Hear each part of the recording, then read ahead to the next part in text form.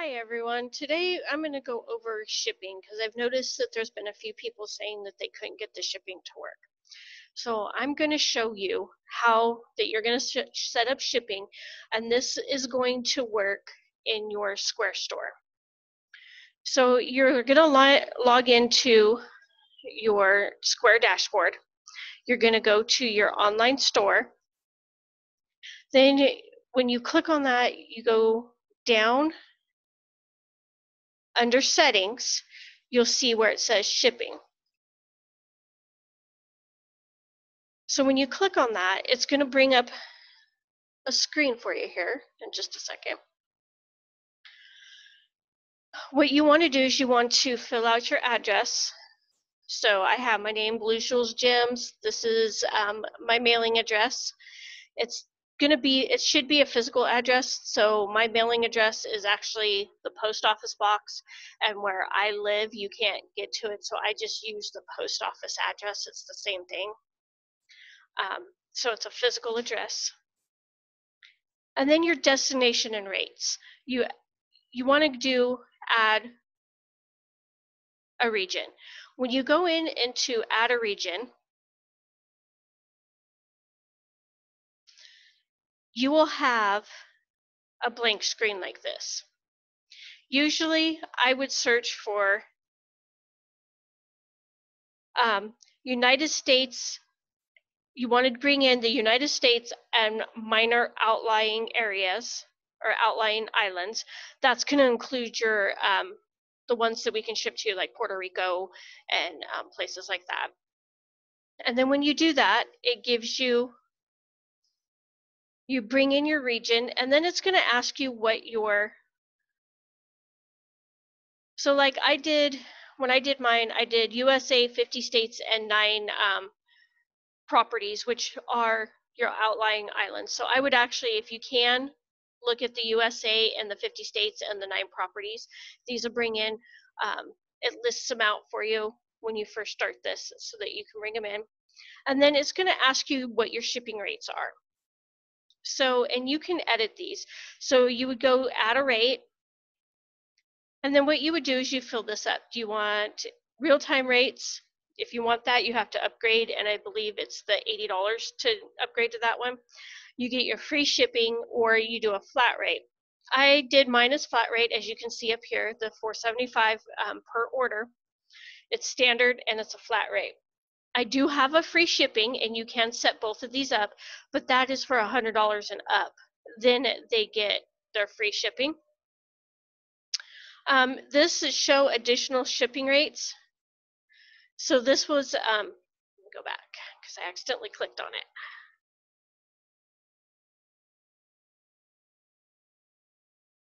So if you do show additional shipping rates, this comes up by um, order weight, order total, and um, item quantity. There are some consultants out there who will ship based on order weight. But here, here's the issue with this. If you set this up, if you go into the screen and you look at it and you go to set this up, you have to know what your shipping rate is. Uh, for orders that are weighing between this and this would be this. Orders between weighing this and this with no max. And then you can keep adding to them. But this becomes very cluttered when um, your customers are checking out online. And the reason why I say that is because we, at least I don't, when I do put in my items, I don't put in how much they weigh. Like if a necklace weighs one ounce, I don't put in one ounce. And that's okay. I mean, there are consultants that do it this way, which is fine. But again, for your online orders, it may not be appropriate because not everybody's going to know, okay, I'm going to order this necklace. This is two ounces. I'm going to order this one. This one's four ounces. And then combine, that's, you know, um, six ounces. And for it's six ounces, I'm paying 10 bucks in shipping. It doesn't really you know it's not convoluted that way I, mean not convoluted it's not really doesn't really make sense that's what i was trying to say but anyway so you can do that you can do you know if it's a standard and you want to do it, or if it's two day overnight, how much you want to do, and you can keep adding it all back. Your fallback rate would be okay, 475, boom, fallback. But I personally won't. I personally will say, do not do the by rate, I mean by weight. Um, order total, you can do it by order total, but then again, how do you know? How do you know that six necklaces is going to be uh, going to weigh, say, like 15 ounces, and or you have a bracelet in there that may weigh one ounce more? How are you going to know that? How are you going to know? I mean, you're going to have hundreds of rules in here. And again, if it falls in between or it's just short of one, how does it know to pull that? So again, you know, may not be the best thing to put on those, but I'm just giving you, um, showing you everything that it has so you get ideas. Item quantity. Again, you're going to fill this out. This is your shipping rate.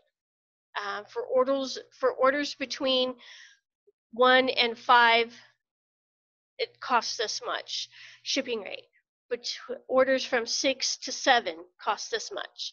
You know, it it's fine if you're tracking if you have a customer who wants to do 10 orders or whatever but normally this would be more for if you're a restaurant or catering or any of that where you have the orders and you have six so six orders to to seven orders you pay um, $19 for your shipping or whatever it is. This is this also can be for um, specialty orders like for gutters or for any of that. So you have you have some room to play with these. Again personally i don't um, put those. I just did the flat shipping rate and the free shipping which made a lot of sense because it's 475 per order.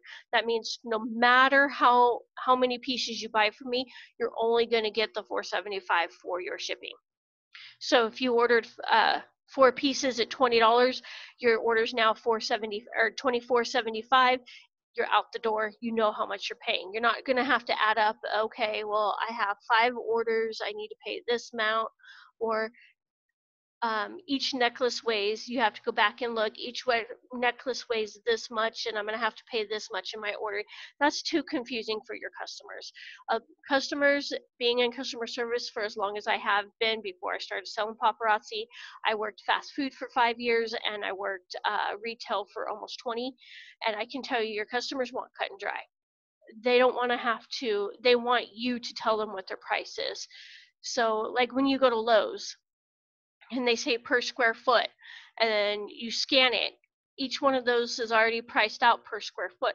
You're not going to stand there with the tape measure and go okay so three feet is five bucks. Now if i add another three feet that becomes six that's five that's ten bucks. But wait it's not a real full three feet so i mean you're not going to want that.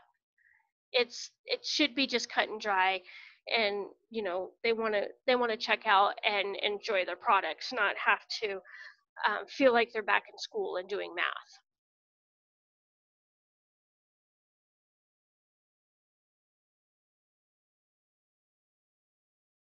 And then again you always have where you can name your name your shipping rate. So mine always says standard. That's because that's what i named it. I was being a, a little um, non-creative when I named it. I'm trying to get back to where I need to be. Okay, here we go. So you have your destinations, your um, add a shipping rate. Canada, United Kingdom, do not add this. This will break this. Not only that, we are not allowed to ship to Canada and United Kingdom. Keep that in mind. So if you did this rate and you did this rate, it will break this rate. Believe me. I've done it. It took me almost 10 minutes to figure out why my when I was going through and doing a testing why it wasn't coming up. And it was because I had this on there. I had to go in and literally take out all of the customizations on that. And then your advanced setting here, you have your real-time um, you have your DHLs, your post office, your FedEx, you know, your UPS. My envelopes, this is what my standard envelopes are. My worldwide availability, I just went ahead and marked everything. Um, my label format for right now is because I don't have a 4 by 6 thermal printer. Mine is 5 by 11, so I'm cutting it down. Um, this will also run into with, um, let me sign in here. If you have Shippo, which I do, this runs into Shippo and it keeps that. So they pay the 475 and it keeps track of your labels when you put them in. You can adjust your labels and it will keep everything for you. As soon as I can get in here.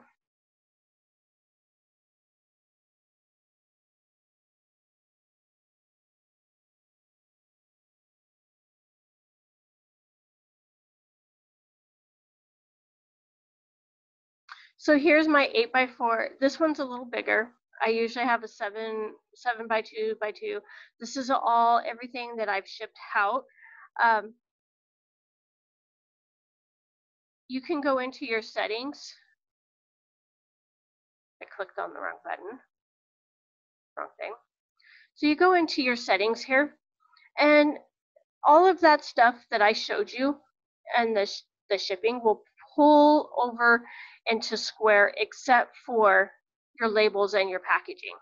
So here in Shippo, because even though it's integrated and I pulled my orders in, um, I have it set to a 5 by 11F PDF.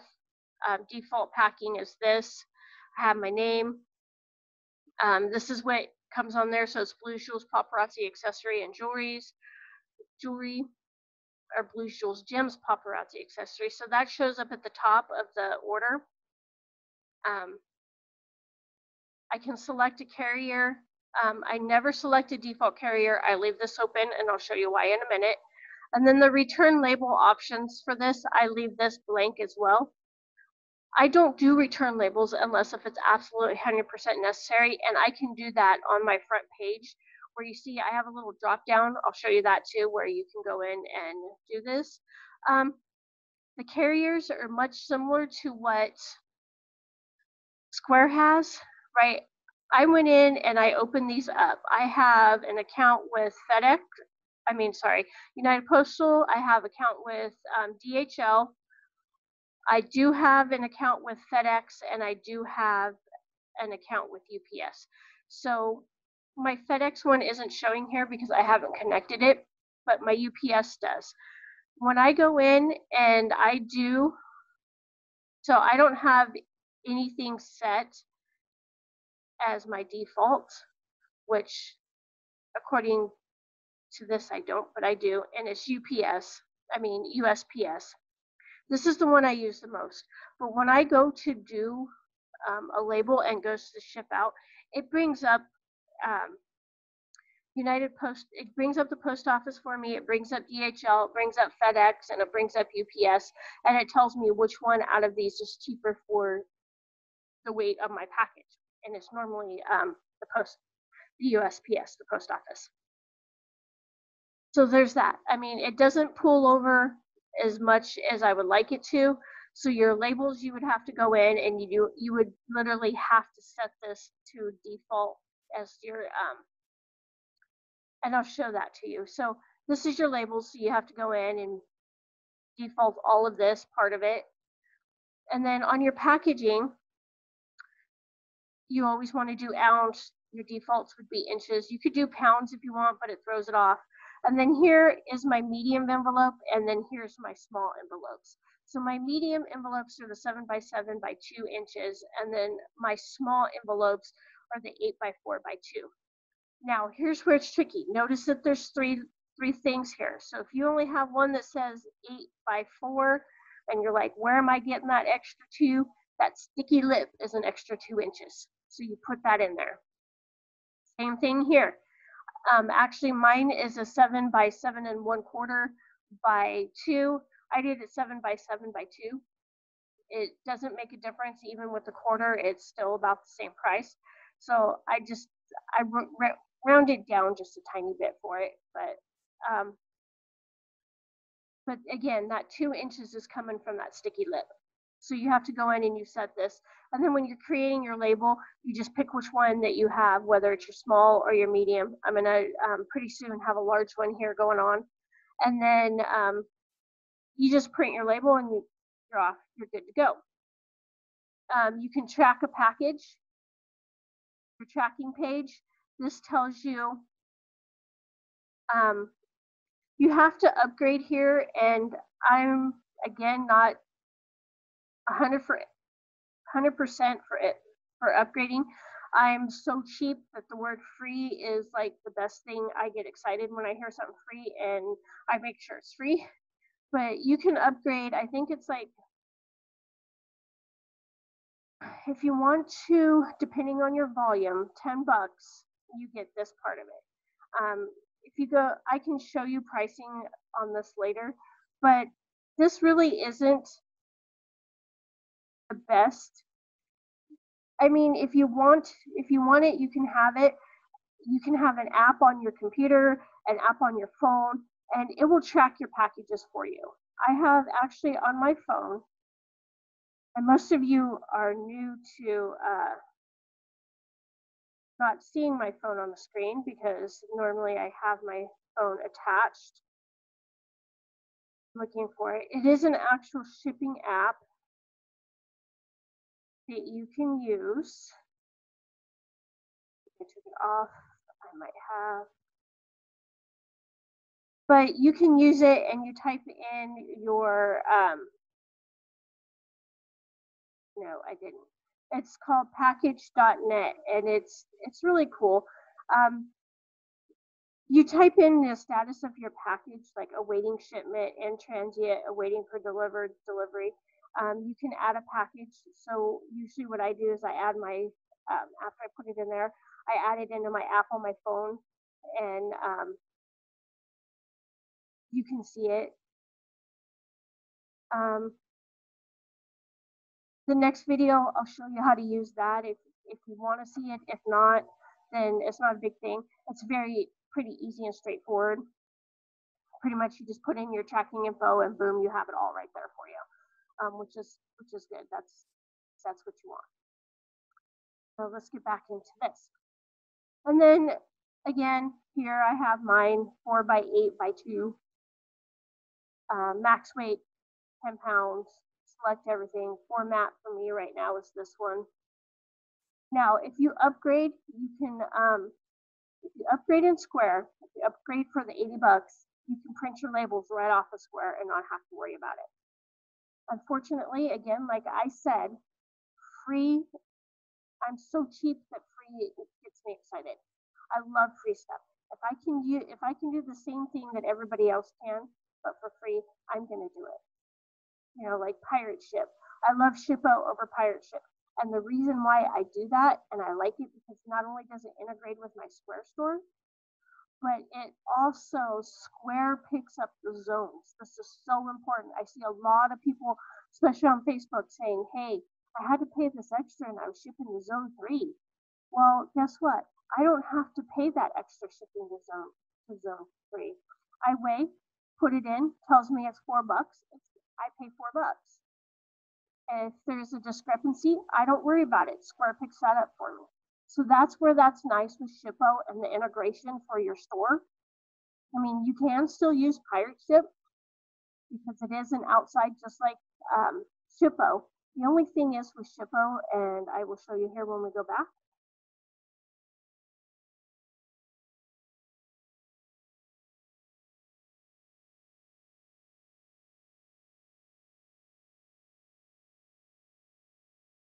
is that you can tell very easily um, so you can tell very easily. These little ones, these ones came from um, Square. These ones I typed in. I have a record of them. if I want, I can re, I can do a refund label. I can download packing slip. I can do a, a create, re- create another label. So with the same customer, I can create another label. It pulls everything in for me. I just have to um, check my my boxes, my package weight. Um, if it comes from online, it will give you the items. When you're filling, when you're doing one of these, when you're creating a label, it does give you the option to put in the items. Here. So you'd fill this out, you get all this, you fill this out to the person, you go save and continue, and it, it gives you an option. Do you want to put some items in here? Or yeah, I'm not going to go through this whole thing because I don't want to save this label and it's a pain to um, get off once I get it on. I mean, it's easy, but I just don't want to go through to it. So I shouldn't say it's a pain. I just don't want to go and delete this off of here because um, I want to keep my books as neat and as possible as I can because it will ask me to pay for a label. And if I don't pay for it, it will sit and keep pinging me to pay for the label. And I really don't want to pay for a label. So it throws my books off. So I won't do it. But there is an option when you do save and continue, it asks, do you want to add an item? And you could either type out the names or you can do, um, you know, just put paparazzi accessories, whatever you want in there. Um, what I like about the Square thing is when it comes from Square, it actually pulls it over. Um, this didn't pull over on my items. It didn't pull over my picture because I didn't have it set that way. Now in Square, it should have the picture of what they're ordering and it should come over now. Um, I had I just did that today, so we'll see if when somebody else orders if it comes comes that way. And then again, my standard shipping, standard shipping. Um, so this is, it's all nice. It's all right here. You can always, um, how many you want to show, how many you want to hide. Uh, download, this is downloading your actual uh, shipping label. Again, you got send notification email. What I like about Shippo is that I don't have to do that send notification email. It automatically sends it as soon as it goes into this, as soon as I print the label, it says it's shipped. And it gives them, three hours later, it literally drops a, a, a tracking number into their uh, email address. And then again, refund label, download packing slip, create hide order. Again, this isn't very hard to set up. The pickup and delivery you can do this if you want to do anything local, but it comes in very, it's a very convoluted way of doing it.